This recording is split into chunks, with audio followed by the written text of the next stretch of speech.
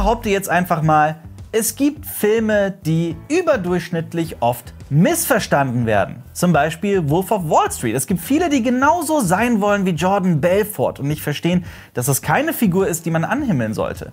Oder Gangster-Rapper mit Scarface, die genauso sein wollen wie Tony Montana. Für viele ist auch Travis Bickle aus Taxi Driver einfach nur eine coole Sau, weil er Selbstjustiz ausübt. Dabei wird völlig ignoriert, dass er wahrscheinlich geistig krank ist, von seiner Umwelt gebrochen wurde und kurz davor ist, einen Politiker zu ermorden. Manche Filme werden eben missverstanden. Manchmal ist aber auch einfach das Marketingteam schuld und verkauft einen Film in der Werbung ganz anders, als er dann wirklich ist.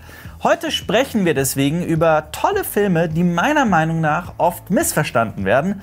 Drei habe ich schon genannt, es kommen noch sieben und damit ein herzliches Willkommen zu einem brandneuen Special hier auf Cinema Strikes Back. Mal ehrlich, die meisten heterosexuellen Männer haben wahrscheinlich noch nie Magic Mike gesehen. Warum auch? Das ist doch dieser lahme Stripper-Film. Ich bin zufälligerweise ein heterosexueller Mann und habe den Film gesehen und dabei dachte ich auch mal, dass das ein ganz belangloser Streifen über ein paar strippende Männer sei. Aber der Regisseur des Films hat mich dann doch etwas neugierig gemacht. Steven Soderbergh, der hat nämlich schon großartige Filme wie Contagion oder Traffic inszeniert. Aber worum geht's überhaupt in Magic Mike? Schauen wir uns doch mal auf IMDb um. Da steht, ein männlicher Stripper bringt einem jüngeren Darsteller bei, wie man feiert, Frauen aufreißt und leichtes Geld macht. Ja, das klingt ziemlich furchtbar meiner Meinung nach. Ich kann euch aber versichern, dass selbst IMDb den Film verzerrt darstellt. In Magic Mike geht es nämlich um einen 30-jährigen Typen, dessen Leben festgefahren ist. Eigentlich träumt er davon, Möbel zu designen und hält sich mit kleinen Jobs über Wasser wie dem Dachdecken oder dem Strippen. Und beim Strippen lernt er ein 19-jähriges Naturtalent kennen, in dem er sich natürlich selbst wiederfindet und deswegen beunruhigt ist, als der Junge beginnt, sich mit gefährlichen Leuten einzulassen und Drogen zu verkaufen. Mir glaubt es nie jemand, aber Magic Mike ist wirklich ein gefühlvolles, kleines, tolles Drama, in dem das Strippen auch nur eine untergeordnete Rolle spielt. Ja gut, das Marketing hat den Film dann auf jeden Fall als Softporno für Junggesellinnenabschiede verkauft. Witzigerweise ist das Sequel Magic Mike XXL genau das, was alle dachten, was der Originalfilm wäre. Als American Psycho vor über 20 Jahren erschien, war der Aufschrei groß. Das sei ein billiger Horrorfilm, der Gewalt und Frauenhass verherrliche. Es geht schließlich um einen Investmentbanker, der im Geheimen eine Frau nach der anderen ermordet. Und über die Frauen erfahren wir quasi nichts, über den Täter aber sehr viel. Und nur weil eine Frau in dem Film Regie geführt hat, heißt das ja nicht, dass der Film nicht auch trotzdem frauenfeindlich sein kann. Oder nicht? Aber es ist wie so oft. Erzählst du einen Film aus der Sicht der Figur, die Schreckliches tut, denken viele gleich, dass du dieses Verhalten auch verherrlichst. Dass der Film aber satirisch ist, ging an vielen, denke ich, vorbei. Der Film beschäftigt sich ja mit der Oberflächlichkeit und der sexuellen Unsicherheit vieler Männer und auch mit der materialistischen Yuppie-Welt von der Wall Street. Mal abgesehen davon, dass wir auch nie erfahren, ob Patrick Bateman überhaupt die Wahrheit sagt oder das alles wirklich erlebt oder ob er überhaupt existiert. Der Film stellt ja auch die Frage, wer wirklich der Psycho in dieser Geschichte ist.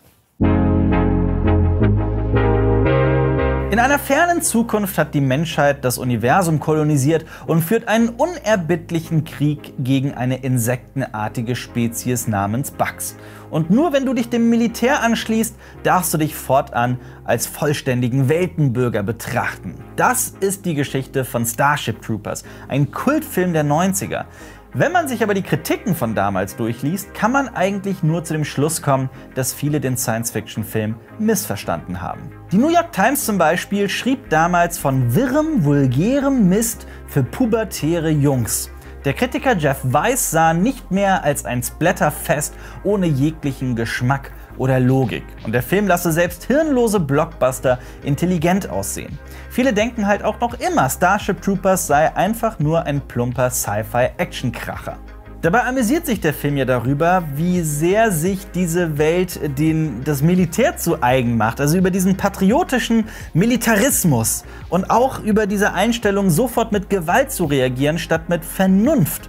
Es gibt ja ein Buch, auf dem der Film zugrunde liegt und das verherrlicht das Militär ziemlich und darüber macht sich der Film eigentlich permanent lustig.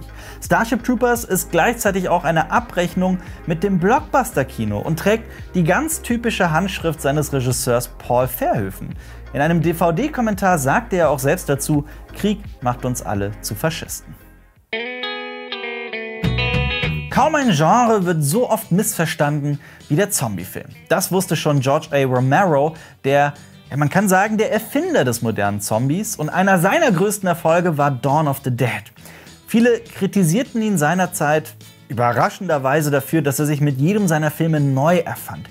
Für viele sind ja Zombies auch nicht mehr als irgendwelche coolen, blutrünstigen Monster, die es zu bekämpfen gilt.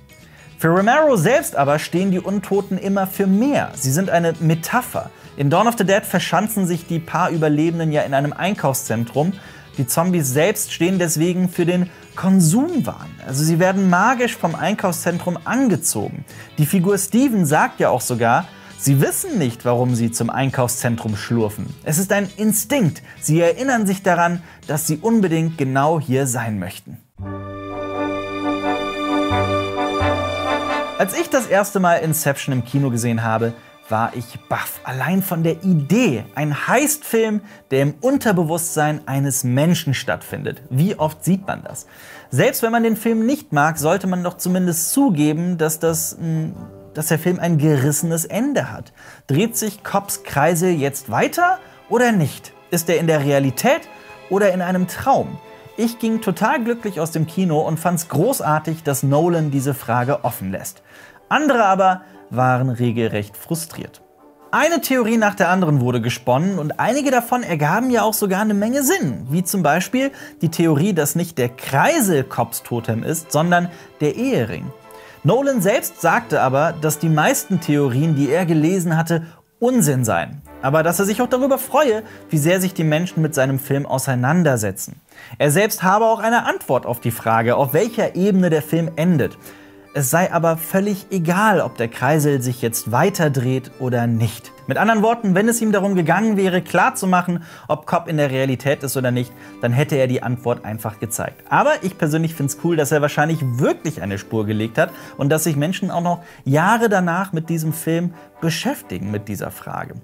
Was das, das Einzige, was mir in all, dieser, ja, in all diesen Fantheorien und in dieser Debatte fehlt, ist die Wertschätzung, was da wirklich in diesem Ende erzählt wird. Nämlich, dass Cobb gar nicht hinguckt, dass es ihm völlig egal ist, ob er im Traum ist oder der Realität. Es geht ja vielmehr darum, dass er den Tod seiner Ehefrau verarbeitet hat und da spielt es keine Rolle, ob das im Traum oder der Wirklichkeit passiert. Mit anderen Worten, nicht jede Frage braucht eine Antwort. Was haben Inception und Sofia Coppolas Film Lost in Translation gemeinsam? Auf den ersten Blick wenig. Lost in Translation ist eine wunderschöne Geschichte über Freundschaft, Einsamkeit, Liebe und Melancholie. Genau wie Inception sorgte der Film aber ebenfalls für eine Fantheorie nach der anderen. In dem Film geht es nämlich um den gealterten Schauspielstar Bob, der in Japan einen Werbespot dreht. Im Hotel lernt er die unglücklich verheiratete Charlotte kennen. Im nächtlichen Tokio heilen sich die beiden gegenseitig von ihrer Einsamkeit. In einer Schlüsselszene des Films, kurz bevor sich die beiden voneinander verabschieden, flüstert ihr Bob noch etwas ins Ohr. Wir erfahren nie, was gesagt wird. Wir hören es nicht und es wird auch nicht eingeblendet. Dieser Moment bleibt nebulös. Ein ganz privater Moment zwischen zwei Figuren, der nur ihnen gehört. Das Internet aber zerriss sich natürlich sofort das Maul. Was hat Bob da geflüstert? Das muss doch was bedeuten.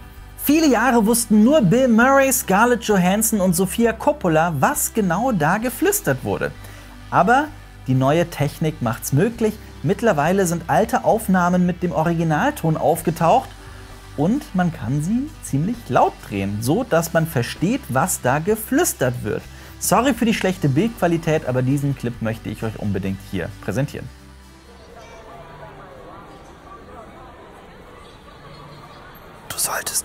Unbedingt Cinema Strikes Back abonnieren, den besten Kanal über Filme, Serien und Comics. Egal worum es geht, ob gegen Rassismus oder dafür, ob Kapitalismuskritik oder für mehr Ketchup im Burger. Heutzutage kann man auf keine Demo gehen, ohne sie zu sehen. Die berühmte Guy Fawkes Maske. Bekannt wurde sie vor allem durch den Film V wie Vendetta. Darin geht es um V, einen maskierten Widerstandskämpfer, der in einem futuristischen London die faschistische Regierung stürzen möchte. Dabei ist V oder V im Comic von Alan Moore sehr viel ambivalenter als im Film. Das heißt, er ist sehr viel schwerer einzuschätzen. Denn in den Comics ist er jemand, der unabhängig von der Regierung einen inneren Trieb nach Chaos und Zerstörung hat. Im Film hat er das wahrscheinlich auch, es wird nur nicht so sehr gezeigt. Er ist aber ein gewalttätiges, gefährliches und manipulatives Mastermind. Er interessiert sich überhaupt nicht für das Wohlbefinden seiner Mitmenschen. Er wird nur von Vergeltung angetrieben. Der Zweck heiligt die Mittel. Menschen sind seine Schachfiguren und manche müssen eben mit Folter gebrochen werden. Die Figur basiert ja auf der historischen Persönlichkeit Guy Fawkes. Das war ein religiöser Fanatiker, kann man sagen, und ein Mitglied der ja, der Verschwörergruppe, die 1605 den protestantischen König und das gesamte Parlament in die Luft jagen wollte, in der sogenannten Pulververschwörung. Die Geschichtsschreibung ist sich einig. Guy Fawkes war ein Terrorist, der bereit war, für seine Zwecke den Tod hunderter Menschen in Kauf zu nehmen. Und der Film ist zum Teil selbst mit Schuld daran, weil er wie ganz anders darstellt als die Comics. Viele sehen in wie immer noch einen anarchischen Superhelden und verherrlichen seine Taten. Wie und Guy Fawkes sind mittlerweile zu Symbolen des zivilen Widerstands geworden, obwohl das nur ein kleiner Teil der gesamten Wahrheit ist. Am meisten frustriert das den Darsteller von Wie, Hugo Weaving.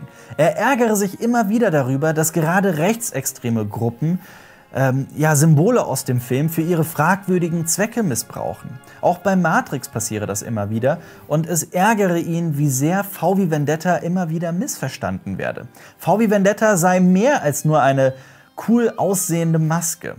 Alan Moore selbst übrigens möchte mit dem Film gar nicht mehr in Verbindung gebracht werden. Wollt ihr systemkonform scharfe weitere Videos aus dem Funknetzwerk sehen, dann schaut doch mal hier bei Simplicissimus vorbei. Die haben nämlich ein Video über Anonymous gemacht. Oder checkt mal unsere letzte Kritik, die war zu The Batman. Ansonsten hoffe ich, dass wir uns bald wiedersehen hier auf mit mir, dem